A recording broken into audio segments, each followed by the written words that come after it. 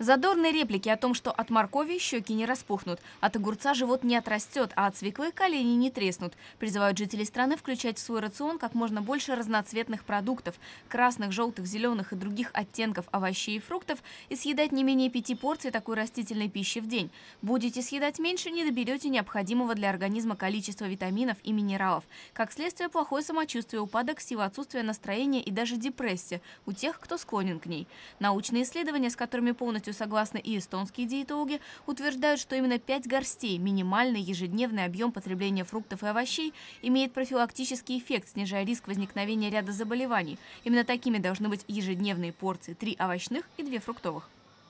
Мы призываем всех жителей страны съедать ежедневно не менее пяти горстей фруктов и овощей. Мы стараемся объяснить и предотвратить негативные последствия, возникающие от нехватки витаминов.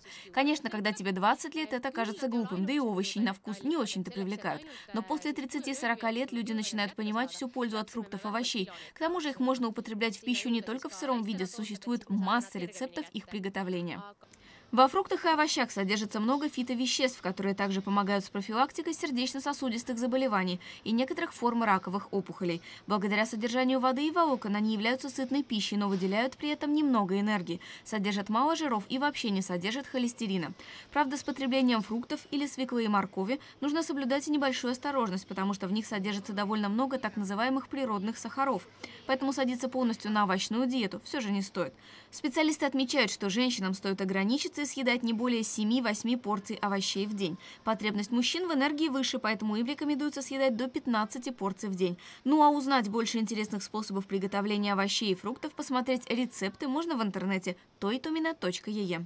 Екатерина Плехова, Вячеслав Скалецкий, Первый Балтийский канал.